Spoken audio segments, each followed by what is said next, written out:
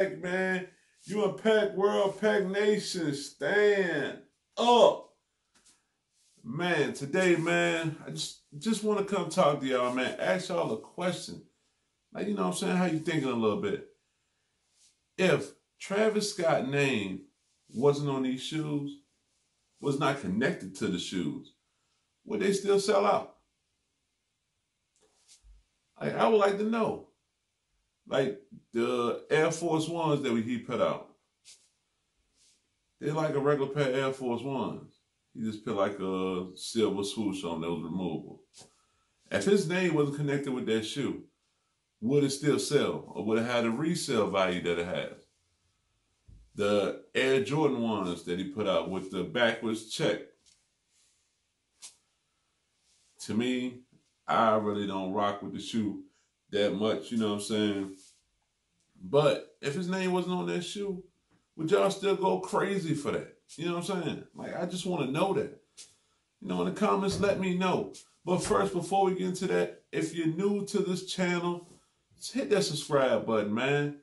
And then hit that notification bell so you receive all the content that I give you. And then do me a favor and tap that like button for your boy. But like, get back to the back to the subject. If his name wasn't on the shoe, would it sell? Like, I I do think that um, well, in my personal opinion, the best two shoes he put out so far was the fours in any colorway. I think all the fours are fire. If you take his name off that shoe, it still will sell. It still sell out. It still had a resale value. All that. If you take his name off that four and off the six. If you take his name off those sixes, crazy, retarded. They still a go. Now that Air Force, the last one, with all the material, different material on them, them shits is ass. They're not gonna sell. To me. You take his name off that shoe, that shoe is in outlets tomorrow. That's how I feel.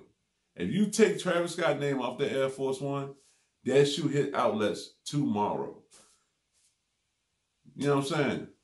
And this new um the React you got coming out, you take that off, take that name out the shoe, take Travis Scott's name off that shoe, that shoe going to Walmart. Real talk.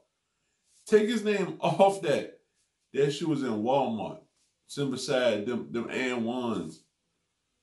And them them um the grandpa shoes with the with the velcro on them joints. The little two straps across the toe. For real.